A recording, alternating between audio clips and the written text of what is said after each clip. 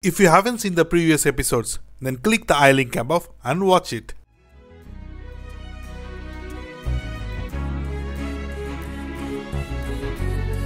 Hello and welcome to our new travel series Let's Go Rajasthan.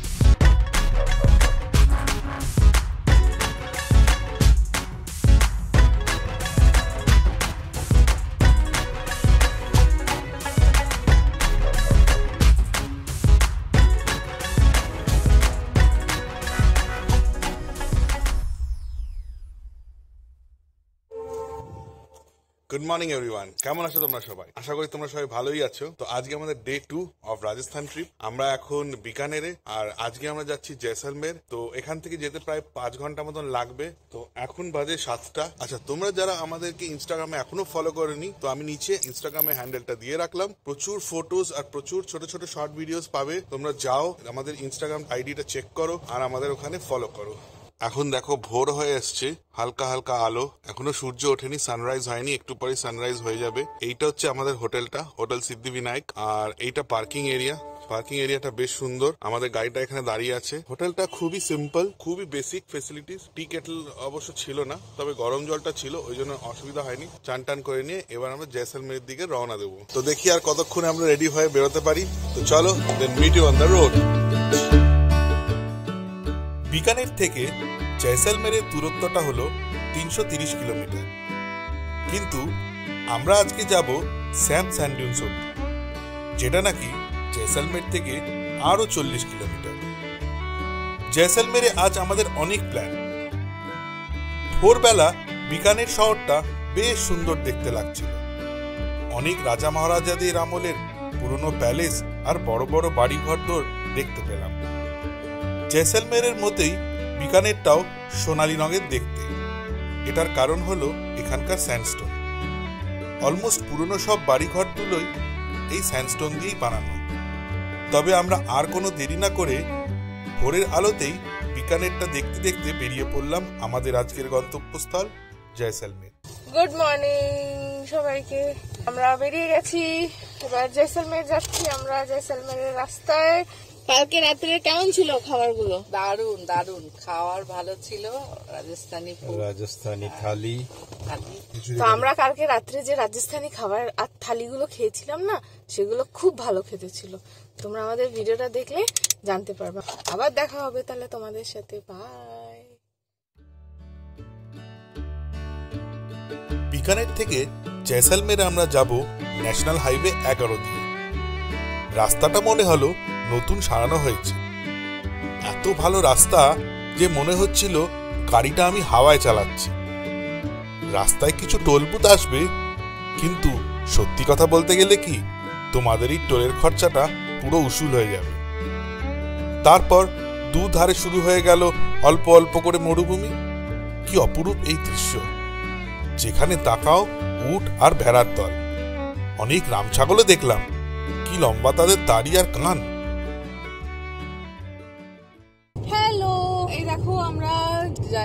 রাস্তায় যাচ্ছি রাস্তাটা এত সুন্দর চারিদিকে বালি বালির পাহাড় খুব সুন্দর দেখতে।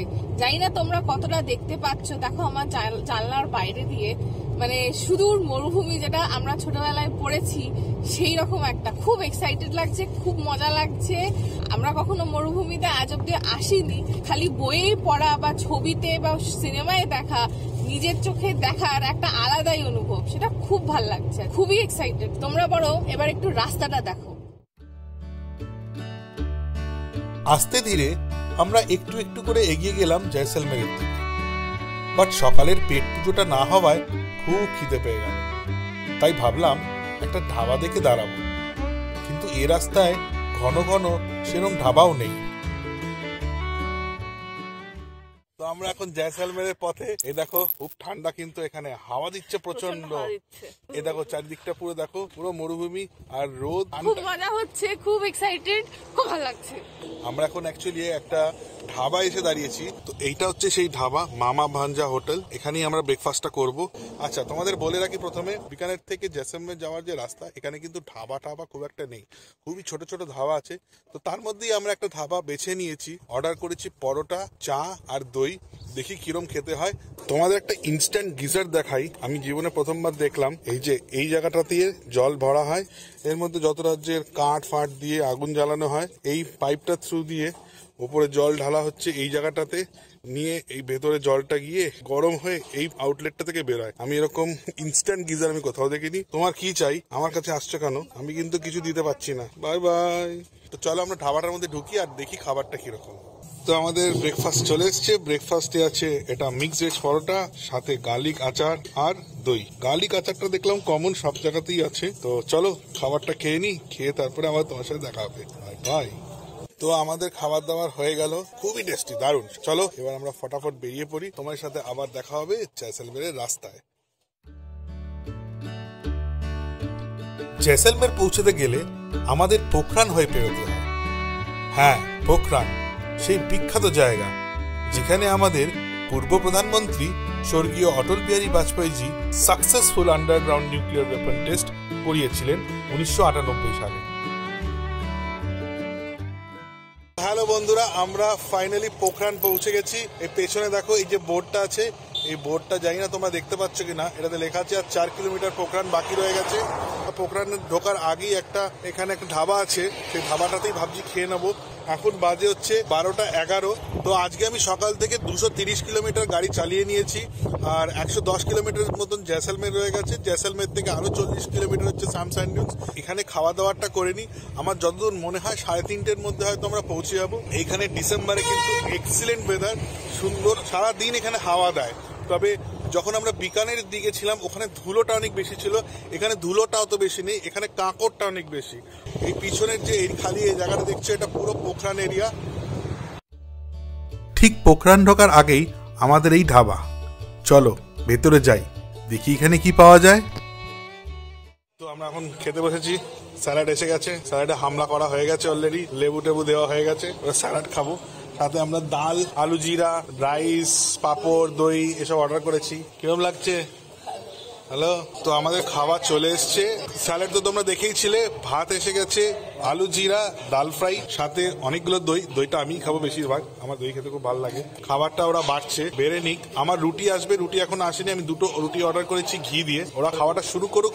খাবারটা কিরকম ডাল আর আলু জিরা ভালো টেস্টি ভেরি গুড জানি এখানকার অ্যাকচুয়ালি জয়সলমের এদিকে ভেজ খাওয়াটা হয় টেস্টি তো চলো এবার আমিও খেয়ে নিই ফটাফট খেয়ে তারপরে আবার জয়সলমের দিকে দেবো রওনা টিল দেন বাই বাই तो इन्हीं हॉलैंड रेस्टोरेंट के मालिक इना रेस्टोरेंट में हमरा खेला भाई तो भैया आप आप अपना नाम बता दीजिए मेरा नाम मोहम्मद राशिद है अच्छा होटल गोल्डन पैलेस है पोखरा रामदेवरा के बीच में Okay. हाईवे के ऊपर है हाँ वेज प्योर वेज का होटल है आप खाबर pure veg but very good food हमें तो बहुत अच्छा लगा। आलू जीरा दाल बहुत ही अच्छा थैंक यू वेरी मच তো আমাদের লাঞ্চ হয়ে গেছে। আমরা এবার জেসলমেরের দিকে যাচ্ছি। পোখরান সিটি বাঁ দিকে চলে যাচ্ছে। আমরা যাব ডান দিকে towards জেসলমের। তোমরা যে নিউক্লিয়ার টেস্টিং এরিয়াটা যে শুনেছো সেটা ডান দিকেই একটু এগিয়ে।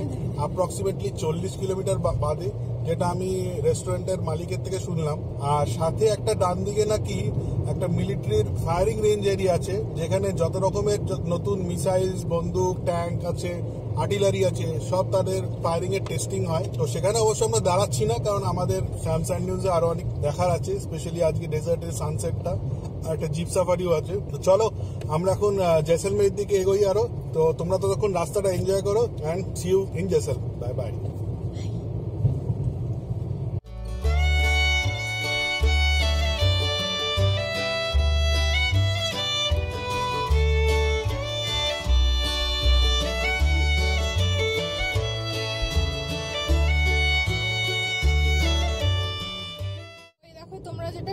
দেখতে পাচ্ছ সেটা হচ্ছে আর্মির ফায়ারিং রেঞ্জ ভিতরে কতটা দূরে দেখতে পাচ্ছ জানি না, কিন্তু ভিতর দিকে একটা আরও ব্যারিকেড করা আছে। সেই ব্যারিকেডের ভিতরটা হচ্ছে আর্মির ফায়ারিং রেঞ্জ তো আমরা এখন জয়সলমের প্রায় ঢুকবো ঢুকবো। ঢোকার আগেই আমরা দেখতে পেলাম জয়সলমের ওয়ার মিউজিয়াম এই সামনে দেখছ এখানটা লেখা। আর গেটের সামনেই দুটো বড় বড় ট্যাঙ্ক রাখা। এ দেখো, সামনে এই এই একটা ট্যাঙ্ক আর ওই আগে একটা ট্যাঙ্ক ট্যাঙ্কগুলো জানি না কোন ট্যাঙ্ক এটা আমার মনে হয় টি ফিফটি নাইন ভীষ্মা ট্যাঙ্কি হবে হয়তো। তোমরা যদি ট্যাঙ্কের নামটা জানো, তাহলে নিচে কমেন্ট করে বলো। তো জয়সলমের ওয়ার মিউজিয়ামটা সকাল নটা থেকে বিকেল পাঁচটা অবধি খোলা থাকে। শুধু টিউসডের দিন বন্ধ।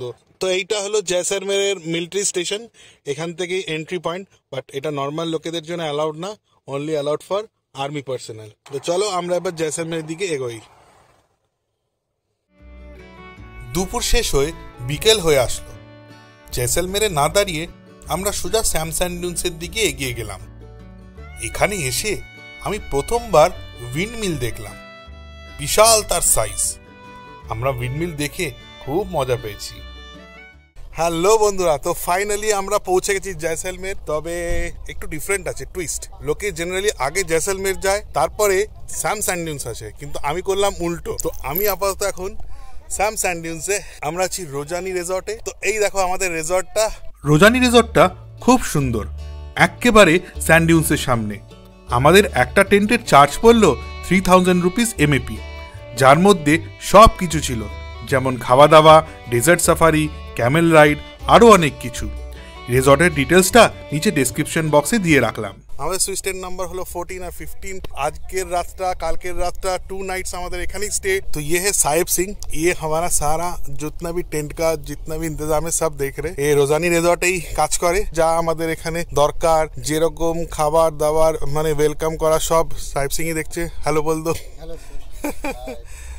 তো এখন আমাদের গাড়ি আসবে সাহেব সিং আমাদের গাড়ি বুক করে দিয়েছে আমরা সামনে যাব স্যান্ডিউন্সে তো লেটস গো গাড়িটা আসুক তো এই দেখো দুজনে এখন খুব মস্তিতে টেন্টের সামনে দোলনায় দুলছে তোমরা কি করছো এখানে হঠাৎ করে দোলনা ঝুলতে শুরু করলে কেন আমরা ডেজার্টের মজা নিচ্ছি এটা হয়তো আমাদের গাড়ি চলে এসছে স্যান্ড ডিউন ব্যাশিং এর জন্য আমরা চাপছি এই জিপ গাড়িতে মহিন্দ্রা থার তোমরা সবাই জানো फेमस তো এই গাড়িটার মধ্যে বসি अंकल को सामने बैठा दो क्योंकि अंकल को पीठ में दर्द है whatever happened after that was simply outstanding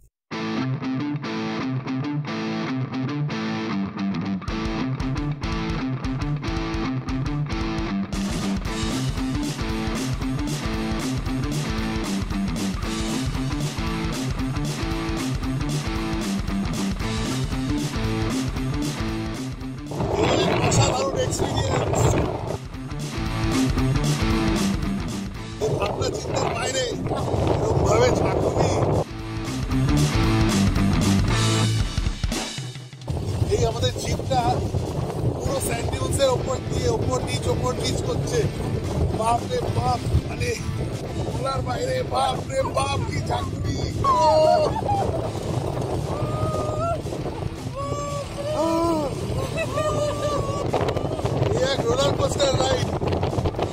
অসম্ভব অসম্ভব দাঁড়ানো। নিয়ে পড়ে স্যান্ডিউন ব্যাচিং করতে গেলে। আপনাদের শরীর হাড়গোড় শক্ত থাকতে হবে। আমরা এখন পুরো থার্ম মরুভূমির ইন্টেরিয়ারে যাচ্ছি। তবে গায়ে অনেক শক্ত হতে হবে। তো নাড়ি ভুড়ি মুখ দিয়ে বেরিয়ে যাওয়ার মতো অবস্থা। কোথা দিয়ে কি বেরোচ্ছে কিছু বোঝা যাচ্ছে না। ভয়ানক আর অসাধারণ দুটোই।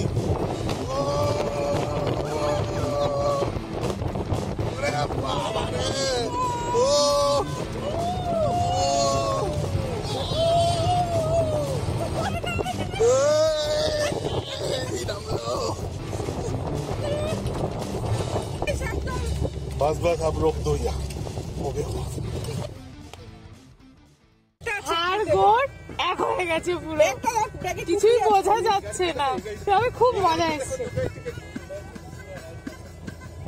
কি হলো সত্যি কথা বলছি এ এক ভয়ানক অভিজ্ঞতা কি যে হলো, আমি, আমরা কেউই বুঝতে পারলাম না। শুধু গাড়ি উপর নিচ উপর নিচ উপর নিচ, এই দায়, বায় রাইট লেফট কি যে হলো একটা মানে এরকম ডিউন ব্যাশিং আমার লাইফে প্রথমবার। আমি কখনো আজ পর্যন্ত করিনি। চলো ডিউন ব্যাশিং তো হয়ে গেল। এবার আমরা তো তোমাদেরকে মরুভূমিটা তো দেখাই। জেসলমের এলাম আর মরুভূমি দেখলাম না। সেটা তো সম্ভব নয় না? তো চলো, তোমাদের মরুভূমি দেখায়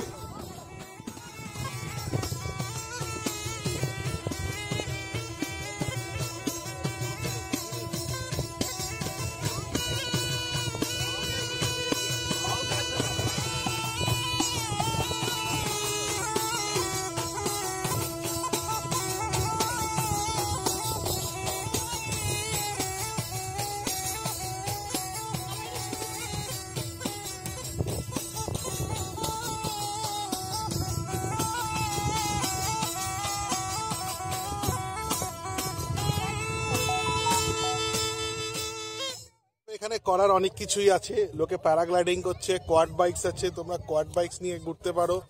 আমরা অবশ্য আর কিছু করছি না, কারণ আমাদের আরও অনেক কিছু প্ল্যানস আছে। আমাদের আবার যে গাড়িটা আছে, সেই গাড়িটাতে বসে আর একটু ডেজার্টে রাউন্ড লাগিয়ে তারপরে আমরা ফেরত যাব আবার রিসর্টে তো চলো, আমরা এখন গাড়িটাতে বসি। স্যান্ডিউন ম্যাশিংয়ের চার্জটা নিচে ডেসক্রিপশন বক্সে মেনশন রইল। ক্যামেল রাইড আর কালচারাল প্রোগ্রামটা কেমন হলো, সেটা জানতে গেলে পরবর্তী এপিসোডটা অবশ্যই দেখো। আশা করি তোমাদের এই এপিসোডটা ভালো লাগল ভালো লাগলে লাইক শেয়ার আর কমেন্ট করতে একদম ভুলো না আমাদের চ্যানেল দি হ্যাপি সোলসকেও অবশ্যই সাবস্ক্রাইব করো আর বেল আইকনটাও প্রেস করো so this is Debanjan signing off and as usual we say be happy stay happy and stay safe. Bye bye.